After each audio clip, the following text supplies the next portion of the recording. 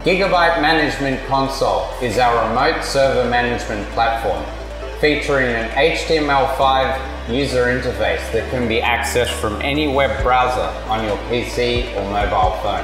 The platform supports RESTful API, including the latest standards of Redfish, allowing the administrator to integrate with third-party applications for server management. The dashboard gives overall information about the status of the server, including events and sensor warnings that have recently occurred. The sensor category will allow us to check various sensor readings within the server, such as temperatures, voltages, and fan speeds. Sensors will detect component failure or overheating, and the administrator can be notified directly by email in the event of an error. We can view information about the chassis and motherboards, and of the components installed on the server, such as CPU, memory, PCIe cards, hard drives, via the system inventory and FRU information categories.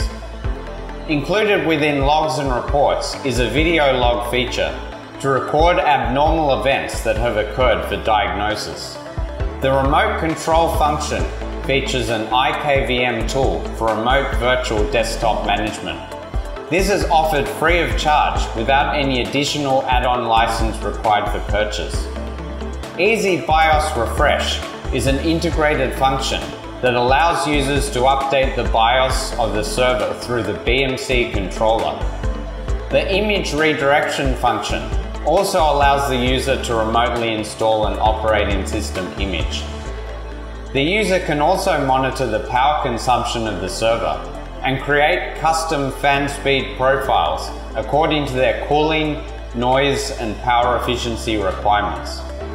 Finally, they can power on, off, or reset the server via the power control function.